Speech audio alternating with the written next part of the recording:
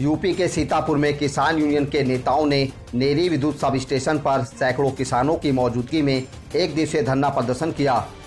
किसान यूनियन के नेताओं ने इस दौरान बिजली विभाग एवं जिला प्रशासन के अधिकारियों पर जमकर भड़ास निकाली।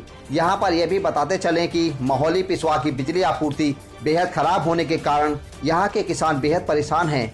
इस परेशानी को देखते हुए किसान यूनियन के नेताओं ने नेरी सब स्टेशन पर धरना करने का निर्णय लिया था। कार्यक्रम का संचालन किसान यूनियन के नेता सुनील मिश्र श्याम के द्वारा किया गया। इस संदर्भ में जब किसान यूनियन के जिला अध्यक्ष श्याम शुक्ला ने बताया कि किसान के हितों के लिए ये कार्यक्रम किया गया है।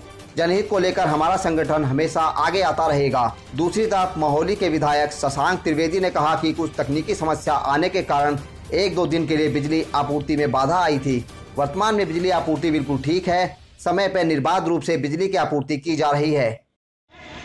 ये सामने आपके, या सामने आपके हाईवे चल रहा है इस पर देख रहे होंगे तमाम लोग ओवरटेक करते हुए, एक दूसरे को क्रॉस करते हुए, तेज गति में आगे की ओर जा रहे कहीं ना कहीं कहीं ना कहीं मेरे भी सफ़र का बाँध टूट रहा है। कहीं ना कहीं हम इस देश के मालिक हो रहा है। इसलिए मुझे मजबूरन बोलना पड़ा। यहाँ पर उपस्थित सुरक्षा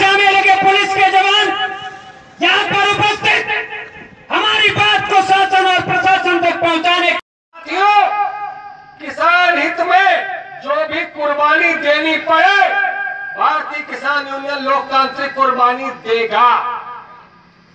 आपसे धन दौलत कुछ नहीं चाहिए, केवल आपका साथ, आपका प्यार, आपका सहयोग चाहिए। मैं